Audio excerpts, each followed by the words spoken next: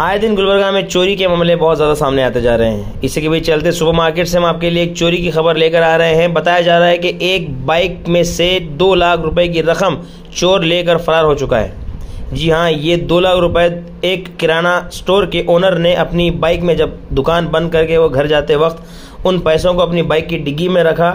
डिग्गी में रख कर जैसे ही वो शटर बंद करने के लिए गया, फ़ौरन चोर ने आओ ताव देखकर इस बैग को लेकर फरार हो चुका है। और ये सारा मामला सीसीटीवी में कैद हो चुका है। जैसे ही इस चोर को पता चला, ओनर ने चौकपुर स्टेशन में केस को दर्ज कर लिया गया है। आइए देखते हैं सुपर मार्केट से एक चोरी की रिपोर्ट।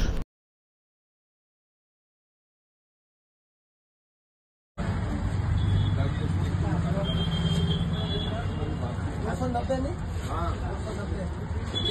एक सौ अस्सी पर पाँच। घर में जाते हो तो हाँ, हो।